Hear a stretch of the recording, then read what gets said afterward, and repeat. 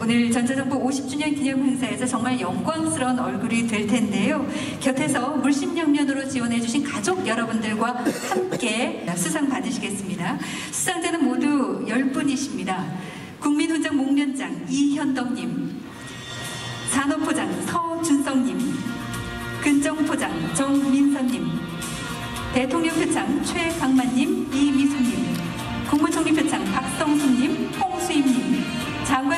박기현님, 김정우님, 강상백님이십니다. 국민훈장 목련장 수상자께서 함께하고 계시는데요. 시상에는 행정안전부 김부겸 장관님께서 함께해 주시겠습니다. 무대를 모시겠습니다. 훈장증, 전자신문사, 논설주간 이현덕, 귀하는 전자정보 진흥을 통해 국가사회 발전에 이바지한 공로갈품으로 대한민국 헌법에 따라 다음 훈장을 수여합니다. 국민훈장 목련장 2017년 11월 1일 대통령 축하드립니다.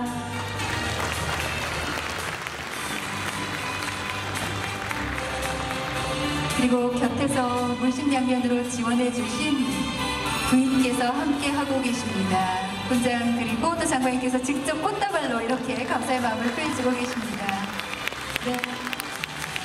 그리고 훈장 잠시 기념 촬영하겠습니다. 정말 긴 시간 어려웠던 시절부터 함께 해 오신 분이십니다. 여러분 다시 한번 큰 박수 부탁드립니다. 축하드립니다.